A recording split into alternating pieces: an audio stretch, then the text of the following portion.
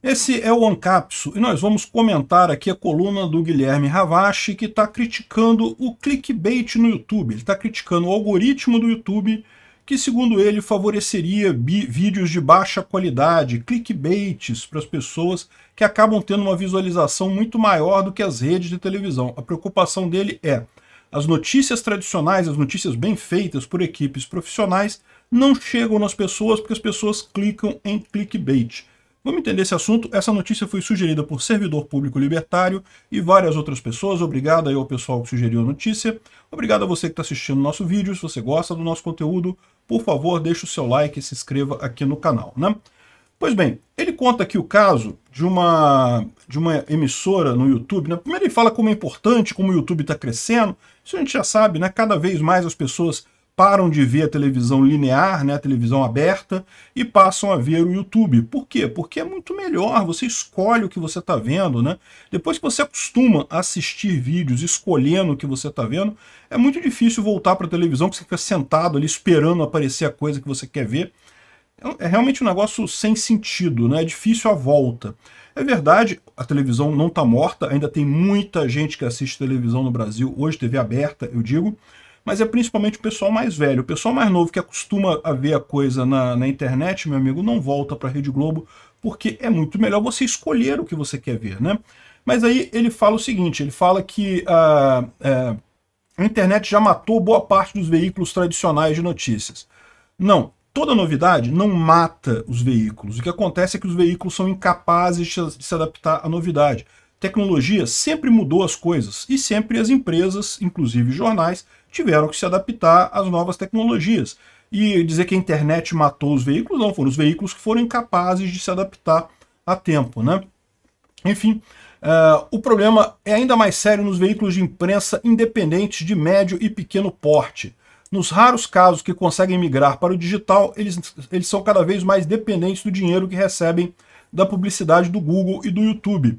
Ou seja, o que ele fala é que tem um monte de veículos de imprensa independentes, de pequeno porte, que acabam dependendo do YouTube. É, eu sei disso, eu sou um, eu sou um veículo de mídia aqui que eu falo que dependo do YouTube né, é, para ter a minha audiência. Né?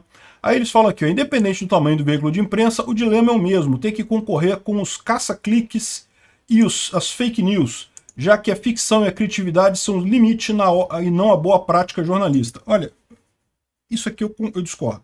Qual que é o problema? Tem clickbait no YouTube? Tem, pra caramba, muito clickbait mesmo. A verdade é essa, o pessoal faz pesado e faz por um motivo, funciona. As pessoas clicam em clickbaits, né? Eu de vez em quando faço uns aqui, mas eu faço só de vez em quando justamente porque eu sei o seguinte, se você começa a fazer muito clickbait, a pessoa se sente enganada quando ela entra no vídeo. Ela vê a notícia, vê a informação, clica ali para saber da informação e se sente enganada. Então é o tipo da coisa que funciona para você cooptar pessoas novas, conseguir o primeiro clique de uma pessoa no seu canal, ela consegue bacana, mas a pessoa acaba não voltando ali, porque ela se sente né, meio enganada pela notícia. A notícia não é uma notícia confiável, no final das contas. Então, eu acho uma besteira isso daqui, dizer que ah, o, a, a ficção e a criatividade são os limites. Ok, o cara pode fazer o clickbait mais absurdo que ele achar, mas no final das contas as pessoas vão acabar fazendo, tendo relacionamentos, vendo canais que realmente sejam com aquilo que tem uma, uma via de mão dupla. Você tem um retorno que é o que você espera naquilo ali. Confiança é mais devagar para você crescer com confiança, mas é um crescimento mais sólido, é um crescimento de mais longo prazo. E eu entendo que muita gente ainda está entrando no YouTube agora, então ainda tem muita gente que cai em clickbait, em fake news e coisa e tal, mas isso é uma coisa temporária, é a novidade do meio. Rapidamente as pessoas vão perceber que isso faz diferença, né? O resultado são canais e sites de clickbait roubando a audiência e a receita de veículo jornalístico. Não, não estão roubando audiência, porque foi a pessoa, foi o consumidor final que escolheu. Esse é o grande problema. O grande erro que eu acho que o cara comete aqui é de tentar comparar o YouTube com um veículo tradicional de mídia. E não é a mesma coisa, porque é o usuário que decide. E isso é muito importante, porque é isso que faz o usuário preferir o YouTube do que a TV aberta. O fato dele poder escolher qual notícia qual canal ele vai assistir, qual vídeo ele vai assistir. Se ele toma decisões erradas, é, cara, o cliente sempre tem razão. Ele é o cliente final da notícia, ele é a pessoa que quer assistir a notícia. O cliente tem sempre razão, não tem outra alternativa. Esse papo de achar, não, porque a minha qualidade é nota 10 e coisa e tal, então o cliente tem que comprar comigo. Não, não existe isso. Em qualquer mercado você tem isso, você tem carros de boa qualidade, que custam caro, o, cliente pode querer esses carros de boa qualidade, né? Podem comprar esses carros de boa qualidade. E vocês têm carros mais baratos que o cliente pode preferir o carro mais barato também, porque ele não quer gastar tanto dinheiro.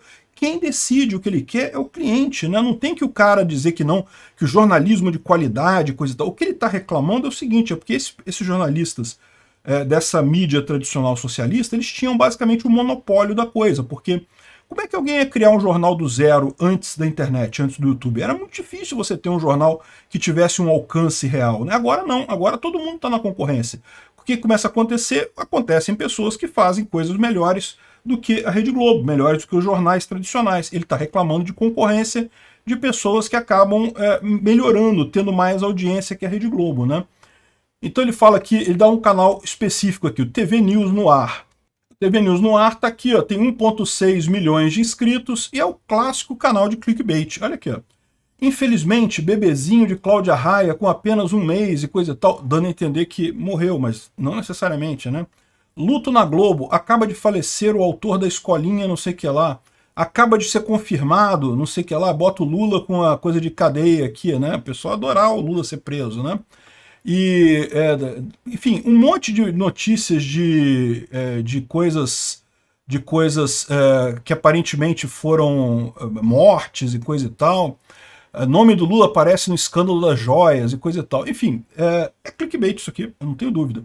Repara que o cara tem uma visão mais ou menos similar à minha, que ele fez um vídeo a 2 horas, 4 horas, 5 horas, 7 horas, 9 horas, 23 horas, ou seja, ele também faz um monte de vídeos por dia e aquilo que eu falei para vocês, o pessoal usa clickbait por quê? Porque funciona, as pessoas clicam nisso daqui, mas eu prefiro não usar esse tipo de expediente porque eu, eu prefiro confiar numa relação de mais longo prazo com o meu ouvinte, né? E se você olhar aqui o, o sucesso da TV News no ar, aqui no site Social Blade, de fato, que eles têm 87 milhões de visualizações nos últimos 30 dias. Isso é um número considerável, é um número muito bom. Aqui, ó, a Jovem Pan tem 72 milhões, eles têm mais do que a Jovem Pan, com clique, com clickbait. O, a TV Globo no YouTube, que lembra, a TV Globo no YouTube, o YouTube é um pedacinho pequenininho da TV Globo. A TV Globo tem audiência em um monte de outros lugares. Mas no YouTube, ela tem 37 milhões de views por mês. Então, assim, eles têm muito mais do que o YouTube. E só para comparação, botar o meu aqui, eu tô com 12 milhões mais ou menos de visualizações por mês. É bem menos do que eles, mas olha só, é, para eu, que estou aqui na minha casa, com um negócio que eu montei aqui no meu quarto, esse estúdio meu aqui para gravar, tá concorrendo com a Rede Globo só quatro vezes menos do que a Rede Globo, né? Brincadeira, a, a capacidade que o YouTube tem de realmente replicar o conteúdo, né? E aí eles estão reclamando que os, jorna os, jornalistas tipicamente não conseguem uma, uma, visualização tão boa assim. E daí eles falam aqui sobre as manchetes de clickbait, coisa e tal. E eles entrevistam o cara dessa TV é, TV News no ar, e o cara é um jornalista, já, já produziu vários documentários premiados e coisa e tal. E ele fala o seguinte: não, o problema é que eu, eu, você tem que ter uma linguagem mais popular.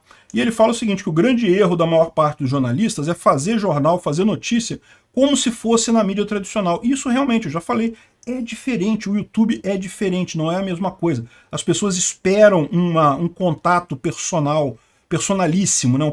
você conhece a pessoa do canal ali, isso é uma coisa importante é, quando você faz vídeos para o YouTube. Você pode reparar, quando você vai nos, nos, vários canais, você espera a pessoa daquele canal ali, né? Então é diferente do Jornal Nacional. O Jornal Nacional é uma equipe que faz um negócio totalmente impessoal e coisa e tal. E uh, no final das contas, é, outra coisa que ele diz aqui é por que, que, por que, que é, ele tem sucesso, né? Porque ele fala o seguinte, que essas outras é, televisões, como a CNN ou a Jovem Pan ou até a Globo, a maior parte delas pega o conteúdo que elas produzem para a televisão tradicional e colocam no YouTube. E ele não, ele faz o conteúdo para o YouTube, ou seja, ele já faz com toda a visão de, de, de receber, né, de chegar no YouTube. Então, faz todo sentido no mundo. O cara tá certo, ele tá atingindo o público dele com o canal dele e tá tendo sucesso com isso. Excelente, tá o pessoal jornalista aqui, é, jornalista de verdade, de qualidade, reclamando. Por quê? Porque estão chateados com a falta de interesse das pessoas nas notícias que eles produzem. Mas por que, que as pessoas não interessam no que o jornalismo, digamos, de verdade faz? A primeira coisa a gente já falou, esse pessoal tende a fazer jornal como, como era na época da televisão, e não é isso que as pessoas buscam. Outra coisa, tipicamente esse pessoal tem tendência à esquerda, e no YouTube a maior parte das pessoas é direita ou, uh, ou libertários, ou menos tendentes à esquerda no final das contas. Não estou dizendo que só tem a gente da direita aqui, lógico, tem muita gente da esquerda aqui, mas a maior parte do público se enquadra nisso, né? E o que, que acontece? É, o cara que faz um jornal com ponto de vista de esquerda, que defende Lula, que não sei o que lá, ele acaba sendo excluído do meio, acaba tendo menos, menos é, é, visualização, né? É o que eu falo, muita gente atribui o problema ao algoritmo do YouTube, mas esse pessoal estão errados. Por quê? Porque o algoritmo do YouTube, tudo que ele faz é entregar para você um vídeo que você queira ver. Ele quer botar na sua página inicial um vídeo que seja algo que você tem interesse, para você clicar e ficar continuar no YouTube, porque quanto mais vezes você clicar no YouTube, mais propaganda você vê, mais todo mundo é remunerado nesse negócio. Então, qual que é o problema desse pessoal? O problema é que o vídeo que ele produz não tem qualidade, o pessoal não tem interesse de clicar naquele vídeo. Eles estão fazendo um vídeo para uma outra, uma, outra, uma outra época, um outro canal, não é para o YouTube, né? Então fica esse problema, porque o YouTube está crescendo cada vez mais, está se tornando cada vez mais relevante, e muito pouco tempo vai acabar mais relevante do que a própria televisão tradicional, e fica esse pessoal dolorido porque, ah, eles não clicam no meu vídeo, o algoritmo está errado. Não é o algoritmo, é o público. O algoritmo só faz você atender ao que o público quer. Se o, o algoritmo recomenda o seu vídeo as pessoas não clicam, não adianta nada. Não adianta botar... Uh, o, o, YouTube faz isso de vez em quando, bota todas essas televisões sérias, né, televisões tradicionais, lá no topo da página. E eu não clico em nenhuma delas, porque quando eu estou no YouTube eu não quero ver notícia pessoal como fazem esse pessoal. Eu quero fazer a experiência do YouTube, é a experiência que todo mundo gosta. Então, no final das contas é isso, esse pessoal, o, o erro deles é esse, é tentar encarar a internet como se fosse a, a mídia tradicional num outro formato. Não, é, é outra coisa totalmente diferente. O fato do usuário escolher o que ele quer ver muda tudo. Enquanto esse pessoal ficar achando que, é, que o YouTube está errado, não porque o, o YouTube despreza conteúdo jornalístico original e coisa e tal. Estão falando, por exemplo, eu aqui estou lendo uma notícia para vocês dele, estou comentando em cima dessa notícia. O YouTube despreza conteúdo jornalístico tradicional? Não, sabe o que, que acontece? O conteúdo jornalístico original, aquela pessoa que descobre a notícia, acabou. Não existe mais. Qualquer notícia que você quiser, você vem aqui no Twitter, ó, e você vai ver dezenas de notícias em primeira mão de pessoas que testemunharam o que aconteceu e explicando a coisa e coisa e tal. Ou seja, você ter notícias, você tem de graça. A notícia não tem mais valor, não tem mais dinheiro. Por quê? Porque ela virou open source. Todo mundo tem acesso à notícia automaticamente. O que, que continua valendo no jornalismo hoje em dia? É a editoração e o comentário, que é o que eu faço aqui. O que, que é editoração? É você separar as notícias que realmente interessam para o seu público. O meu foco é o público libertário. Eu sei que tem gente que me assiste que não é libertário, mas não tem problema. O meu foco é o público libertário. Então eu escolho as notícias que uma pessoa libertária teria interesse de ver. E a outra coisa é o comentário. Eu pego a notícia do cara aqui, eu não estou só lendo o que ele escreveu aqui.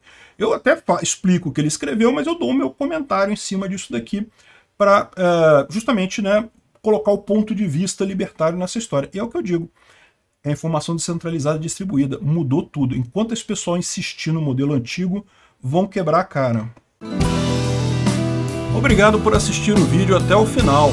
Além de curtir, compartilhar e se inscrever no canal, considere se tornar patrocinador com valores a partir de R$ 1,99 clique no botão Seja Membro abaixo para saber as condições e vantagens de patrocinar o canal. Mais informações sobre o nosso projeto, visite nossos sites indicados na tela.